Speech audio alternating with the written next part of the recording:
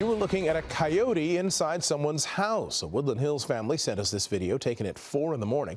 When the coyote came in through the doggy door, the family cat immediately dove under a table and sounded the alarm, alerting everyone to the wild intruder.